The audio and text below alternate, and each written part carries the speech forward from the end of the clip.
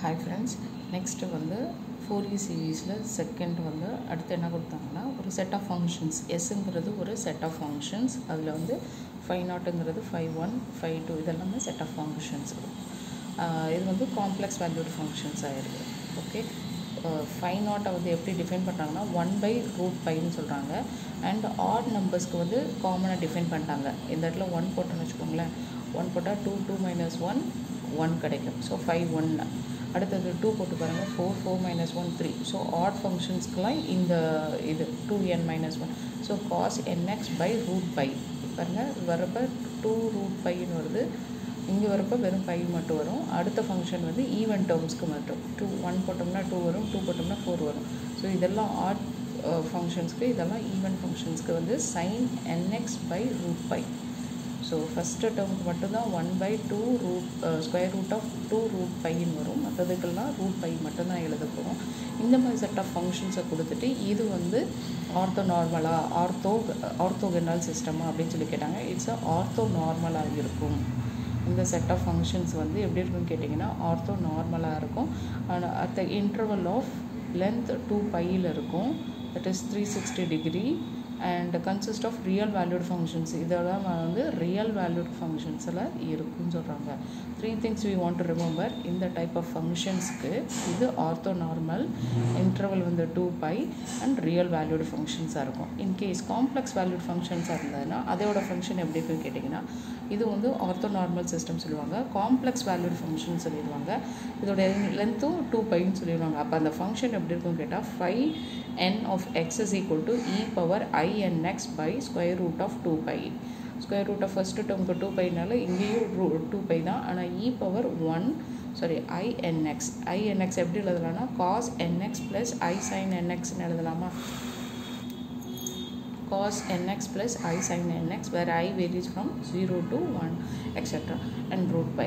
So இதில் நம்ம தெரிஞ்சுக்க வேண்டியது ஷார்ட்டாக orthonormal system at the interval of two pi லென்த்தில் வந்து ஃபங்க்ஷன் எப்படி இருக்குன்னு கேட்டிங்கன்னா காம்ப்ளெக்ஸ் ஃபங்க்ஷனோட இது வந்து எப்படி இருக்குன்னா five n of x is to e power inx by square root of two பைன்னு கிடைக்கும் அந்த இ பவர் ஐஎன்எக்ஸை வந்து cos nx plus i sine என்எக்ஸ்னு எழுதலாம் நெக்ஸ்ட்டு வந்து ரியல் வேல்யூடு ஃபங்க்ஷன்ஸாக இருந்ததுன்னா S is equal to five naught first function வந்து one by two square root of two pi odd function வந்து cos nx by root pi even function sine nx by square root of pi இப்படி இருக்கும்னு சொல்லிட்டாங்க.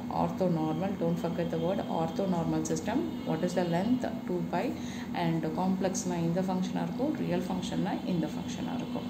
Next thing basic properties of inner product and நார்ம்ஸ்க்கு சொல்லியிருந்தாங்க. ஒரு three functions எடுத்திருக்காங்க. F H are in the L squared i. L squared i na complex valued functions which are measurable under the interval i and such that modulus of f squared L belongs to the L of i.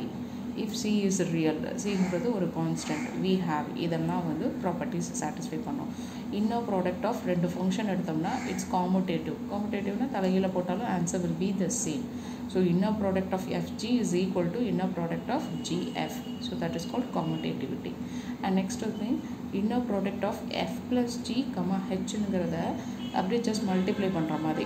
F F comma H plus இந்த plus வந்து நடுவில் வந்துடுது and then G comma H inner product of F comma H plus inner product of G comma H இதுக்கு பேர் வந்து லீனியாரிட்டின்னு சொல்லுவாங்க. Okay நான் தேர்ட் திங் சிஎஃப் கமா ஜின்னு சொல்கிறோம் சிங்கிறது ஒரு ரியல் ஒரு கான்ஸ்டன்ட்டோட ஒரு ஃபங்க்ஷன் இருக்குது கமா ஜி இது எப்படி வரும்னா இன்னர் ப்ராடக்ட்னு அது கான்ஸ்டன்ட் ரியல் வந்து வெளியே நிற்கும் and then find the product for the inner product for the two functions F and G இதுக்கு பேர் அசோசியேட்டிவ் அசோசியேட்டிவ்னா ப்ராக்கெட்டை மாற்றி போடுவோம். இங்கே வந்து கான்ஸ்டன்ட்டை வெளியே வச்சுட்டு அண்ட் தென் எஃப் மற்ற ரெண்டு ஃபங்க்ஷன்ஸையும் நம்ம இன்னர் ப்ராடக்ட் கண்டுபிடிப்போம். That is called associativity and norm of ஒரு கான்ஸ்டண்ட்டும் ஒரு ஃபங்க்ஷனும் இருந்தால் மாடுலஸ் ஆஃப் கான்ஸ்டன்ட் கண்டுபிடிங்க. அண்ட் நாம் ஃபார் த ஃபங்க்ஷன் கண்டு சச் டைப் ஆஃப் ப்ராப்பர்ட்டிக்கு பேர் வந்து ஹோமோஜீனியட்டின்னு சொல்லி பேர். ஒரு கான்ஸ்டண்ட்டு ஒரு ஃபங்க்ஷனும் நாம் கண்டுபிடிக்கணும்னா கான்ஸ்டன்ட்டுக்கு மாடலஸ் போட்டுருங்க. ஃபங்க்ஷனுக்கு நாம் கண்டுபிடிச்சிருங்க. That is called homogeneity and next thing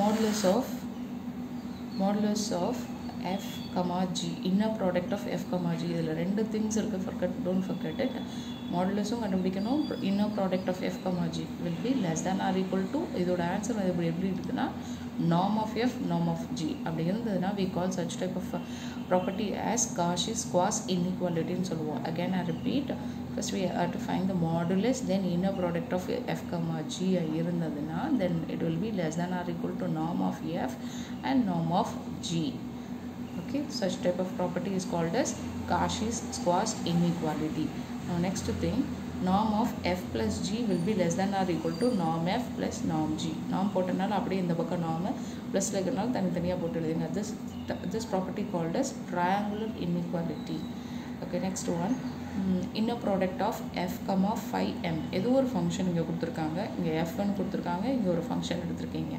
five எம்னு சொல்லிட்டு. இது எப்படி எழுதுவாங்கன்னா sigma k varies from zero to n c k five of k comma five of m இந்த எஃப்ஐ வந்து எப்படி ரீப்ளேஸ் பண்ணாங்கன்னா sigma k varies from zero to n c k five k அந்த five எம்மை வந்து அப்படியே எழுதலாம்.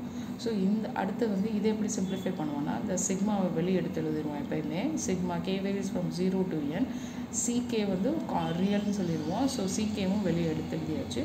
Five K comma five M வரும். ஸோ இது ரெண்டையும் பண்ணுறப்ப சிஎம்னு வரும். இந்த ரெண்டு ஃபங்க்ஷனையும் பண்ணுறப்ப சிஎம்னு வரும். இதோட வேரியபிள் இதோட வேரியபிள் சேமாக இருக்குது so it answer will be cm again i repeat inner product of f comma 5m will be sigma k varies from 0 to n ck 5k five 5m இந்த எஃப்ங்கிற இடத்துல ck 5k போடுவோம் sigma போடுவோம். அடுத்து சிக்மாவையும் சிகேவையும் வெளியே எடுத்து எழுதிடுவோம் அது ரெண்டும் எழுதிடுவோம். இப்போ இந்த ஃபைவ் கேவும் ஃபைவ் எம்மும் வந்து will be change as CM sigma வராது ஜஸ்ட் சிஎம் மட்டும் வரும். And both should not be equal கேவும் எம்மும் ஈக்குவலாக இருக்கக்கூடாது. That's all. Thank.